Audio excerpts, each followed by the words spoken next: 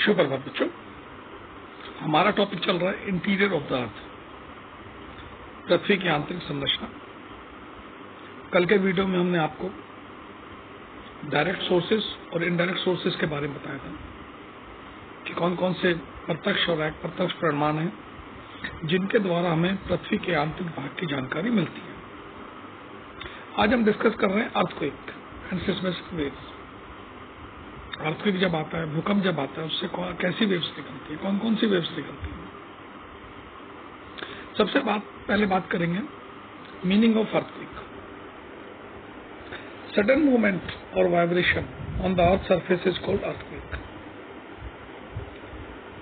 कोई मूवमेंट होगा, उससे अर्थ वाइब्रेट करेगी, उसे अर्थक्वेक कहते हैं। वाइब्रेशन जस्ट वाइब्रेट करना, हिलना नहीं। जैसे फीवर में हमें, हमारा शरीर कांपता है तो ऐसी अर्थ सरफेस कांपती है, जिसको हम अर्थक्विक कहते हैं। In other words sudden release of energy due to tectonic activity is called earthquake जब वेव्स निकलेगी तो कोई ना कोई एनर्जी निकलेगी रिलीज़ होगी, और उससे अर्थक्विक आएगा। अर्थक्विक जो आता है, वो मूवमेंट्स ऑफ़ प्लेट्स जो हमारे नीचे प्लेट्स हैं, जिनपे हमारे कॉन्टिनेंट्स ओशंस वगैरह हैं, इनके चारों ओर लिक्विड फॉर्म है तो इनमें थोड़ी तरह मूवमेंट्स होता रहता है। सेकेंड है राइजिंग ऑफ़ मैग्मा जब ज्वालामुखी फटता है, उससे भी अर्थ हिलती है, उससे भी अर्थक्विक आता है। फोल्डिंग एंड फॉल्टिंग अंदर जो फोल्डिंग और फॉल्टिंग होता है प्लेट्स एक दूसरे से टकराती हैं, साइड में आती हैं, एक दूसरे के ऊपर जाती हैं, उससे भी होता है। और वॉल्कनिक एरप्शन इन कारणों से मोस्टली अर्थक्विक आता है। जब भी अर्थक्विक आता है तो तीन तरह की वेव्स निकलती हैं। पी एस और N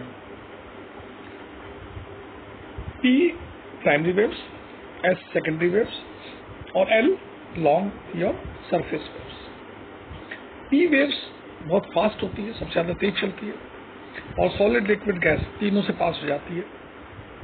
इसलिए पता लगता है कि पृथ्वी के इंटीरियर में सॉलिड भी है लिक्विड भी है और गैस भी है।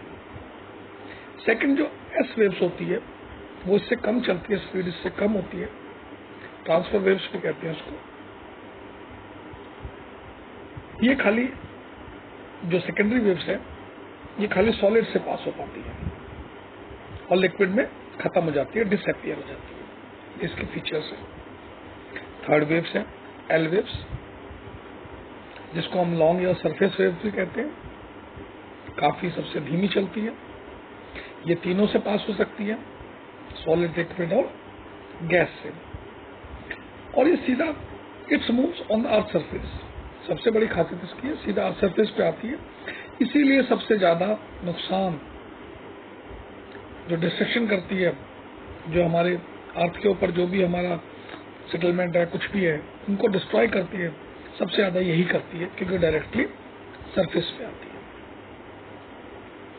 तो इस बारे में आज आप डिस्कस करेंगे, इसके नोट्स बनाएँगे और इस वीडियो को शेयर करेंगे। धन्यवाद।